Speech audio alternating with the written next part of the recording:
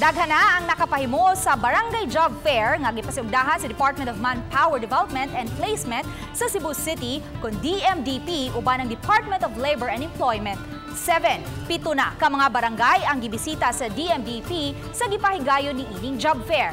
Ug mga adlaw laing barangay usab ang uh, ipahigayunan sa Job Fair 2023 sa Activity Center sa Archdiocesan Shrine of San Nicolas Parish sa Barangay San Nicolas proper Cebu City. Magsugod ang Job Fair sa alas 8 sa buntag hangtod na sa alas 5 sa hapon.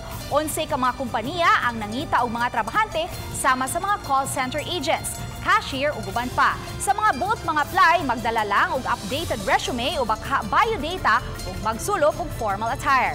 Magsugod ang Barangay Job Fair Uh, niad nagsugod ang Barangay Job Fair ni adtong Mayo 6 2023 sa Barangay Talamban ug niadtong July 14 lang gipahigayon kini sa Barangay Tejero.